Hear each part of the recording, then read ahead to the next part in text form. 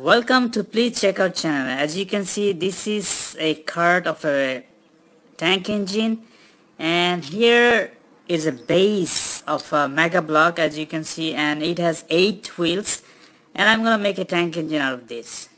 Alright guys here let me put the last part first which is this one and as since you know the color can you guess what kind of tank engine I'm gonna make here? This is the seventh video I believe of my Mega Blok collection.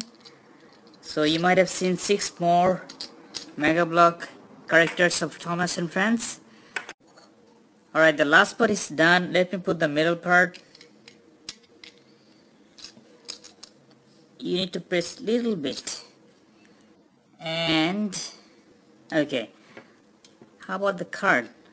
I'll put the head later and here is the card. As you can see this is how you connect it. Yes. Head is missing and the number is missing. Alright guys put the number here and put the cards here. You can see eight wheelers and here is Henry. And, and here, here comes, comes Henry. Henry.